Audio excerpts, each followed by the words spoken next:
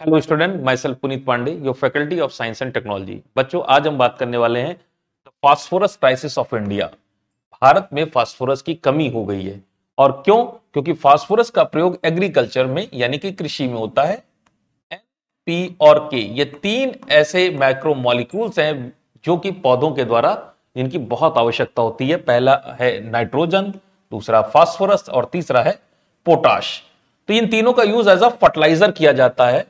और जो फास्फोरस है, इसके साथ समस्या है कि देश की जो टोटल डिमांड है, उसका 90 परसेंट हिस्सा जो हमारा देश है, वो विदेशों से इंपोर्ट करता है। मतलब उसका आयात करना पड़ता है। हमारे देश में फास्फोरस की लगभग पूर्णतया कमी है।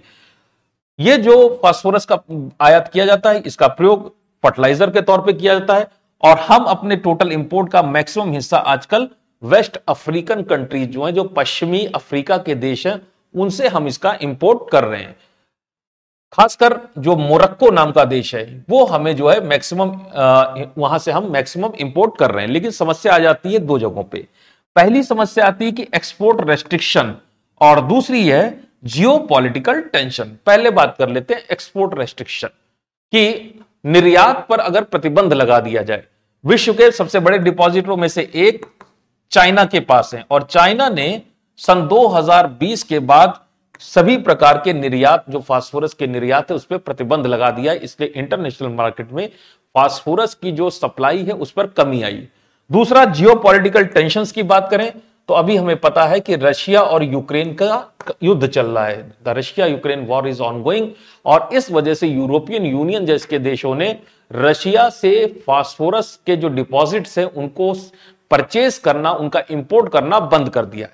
इन दोनों वजहों से इंटरनेशनल मार्केट में फास्फोरस के जो डिपॉजिट्स हैं, जो फर्टिलाइज़र बनाने के लिए ज़रूरी रॉक्स हैं, उनकी मांग अचानक बढ़ गई है और इस वजह से जो प्राइसेस हैं, वो शूटअप कर रहे हैं। तो इसलिए भारत में किस तरह से इस चीज़ को रोका जाए, इससे कैसे निपटा जाए, इसके लिए गवर्नमेंट का एक प्लान है कि हम, हमें सर्कुलर इकोनॉमी फास्फोरस के क्षेत्र में डेवलप करनी चाहिए। कि एक बार फास्फोरस देश में आ जाए तो उसको बार बार हम रिसाइकिल और रियूज करें।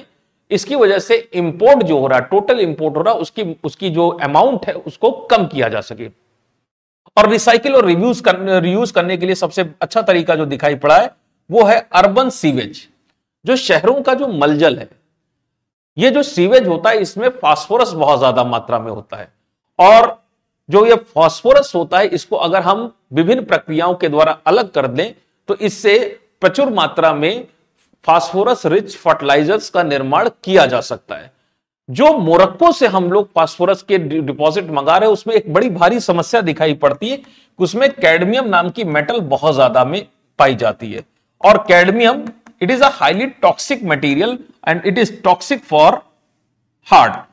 तो देश में जब भी हम फर्टिलाइज़र यूज़ करते हैं, खासकर मोरक्को के कैडमियम रिच डिपॉजिट्स के फर्टिलाइज़र हम मंगाते हैं तो उसमें एक बड़ी भारी समस्या यह है कि उसके, उस फर्टिलाइज़र में कैडमियम नाम की मेटल मिक्स रहती है और जब ये फर्टिलाइज़र हम अप्लाई करते हैं अपने खेतों में तो ऐसी स्थिति में जो पौधे हैं, उस कैडमियम को एब्जॉर्ब कर लेते हैं, खासकर धान जैसे पौधे। और इस वजह से जो चावल आप खाते हैं, उसमें कैडमियम की मात्रा अधिक होने से हृदय की बीमारी होने का खतरा पैदा हो जाता है। लेकिन अगर हम अर्बन सीवेज का ट्रीटमेंट करें, उसकी रिसाइकलिंग करें या वेस्ट वाटर का ट्रीटमेंट करें तो ऐसी स्थिति में जो है, जो ये फास्फोरस इन जगहों से हम माइनिंग करके या रिसाइकलिंग करके निकालेंगे, उसमें कैडमियम बिल्कुल भी नहीं पाया जाएगा। यानी कि it is safe it will be safe to use as a fertiliser तो एक तो यह तरीका है कि सर्कुलर इकोनॉमी करी जाए और दूसरा अर्बन सीवेज का ट्रीटमेंट किया जाए। इसकी वजह से हम बात कर सकते हैं कि देश में फ़ूड सिक्योरिटी जो है जिसको हम कहते हैं खाद्य सुरक्षा उसमें वृद्धि होगी। और जो इंटरनेशनल मार्केट में जो प्राइसेस का फ्लक्चुएशन हो रहा है उससे हमारे जो किसान है वो काफ़ी हद तक सेफ़ गार्ड हो जाएँगे उनको उतनी ज़्यादा दिक्कत नहीं आएगी। इसके अलावा गवर्नमेंट का प्लान है कि लोग किसानों को हम आ, किसानों को क्रॉप रोटेशन यानी कि फ़सल का पुनर्चक्रीकरण फ़सल चक्र लगाने के लिए एक फ़सल के बाद, एक प्रकार की फ़सल के बाद, दूसरी प्रकार की फ़सल लगाने के लिए प्रेरित करें क्रॉप रोटेशन करें और कवर क्रॉपिंग करके जो वाहित जल है that is known as run off water और रन ऑफ़ वाटर क्या होता है? जो हमारी, जो खेत होते हैं, खेत पे जब बारिश गिरती तो एक्स्ट्रा मात्रा में पानी जो है वो बह जाता है और इस पानी को हम वाहित जल या रन ऑफ़ वाटर कहते हैं। चूँकि खेत में आपने फास्फोरस का ज़रूरत से ज़्यादा मात्रा में मिट्टी में फास्फोरस है तो वाहित जल के साथ ये एक्स्ट्रा फास्फोरस भी बह जाता है। इसलिए किसानों को बार बार अपने खेतों में फास्फोरस का एप्लीकेशन करना पड़ता है, उसको बार बार ज़्यादा मात्रा में डालना पड़ता है।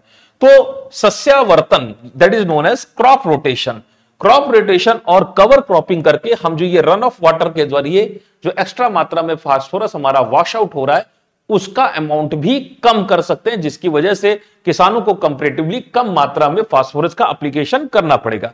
फिर government exploring and exploiting domestic phosphorus reserve, यानी कि देश में जो फॉस्फोरस के रिज़र्व हो सकते हैं, उनका एक्सप्लोरेशन करने की आवश्यकता है। और जो फॉस्फोरस रिज़र्व वर्तमान में उपस्थित है, उनका प्रचुर मात्रा में दोहन करने की भी आवश्यकता है कि हम देश के जितने भी रिज़र्व हैं उनमें से ज़्यादा से ज़्यादा मात्रा में फास्फोरस को निकालकर देश की सर्कुलर इकोनॉमी में डालें सर्कुलर जो सर्कुलर साइकिल है, उसके अंदर डाल दे, उसको रिसाइकिल करें रीयूज करें, ताकि फास्फोरस का इंपोर्ट पे डिपेंडेंसी हमारी कम से कम हो जाए। और खासकर ये फास्फोरस भी कैसा होगा? कैडमियम से फ्री होगा। अगर हम पर्सनल लेवल पे करें, बात करें इंडिविजुअल लेवल पे बात करें तो अगर आप मीट का कंजप्शन कम करते हैं, और जो फ़सलों जो आपके घर से निकलने वाला गीला कचरा है उसकी अगर आप कंपोस्ट बनाते हैं, उसको रिसाइकिल करते हैं तो ऐसी स्थिति में भी पौधों की फास्फोरस फर्टिलाइज़र पर डिपेंडेंसी वो कम हो जाती और मीट कंजप्शन करने से कंजप्शन कम करने से देश की टोटल फास्फोरस रिक्वायरमेंट जो है वो भी कम होती है। तो इन तरीकों से हम जो है देश में फास्फोरस की जो डिमांड और सप्लाई का जो गैप है, उसको काफ़ी हद तक फुलफिल कर सकते हैं और इसमें बहुत अच्छा जो अभी इनिशिएटिव लिया जा रहा है कि सीवेज ट्रीटमेंट करके उसमें से सीवेज से फास्फोरस की माइनिंग करके हम ज़्यादा से ज़्यादा मात्रा में फास्फोरस युक्त फर्टिलाइजर्स का निर्माण कर सकते हैं।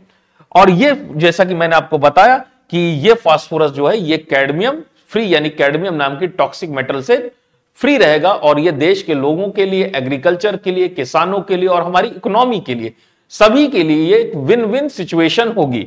इसकी वजह से हमें आने वाले समय में सस्टेनेबल एग्रीकल्चर का विकास करने में सहायता मिलेगी।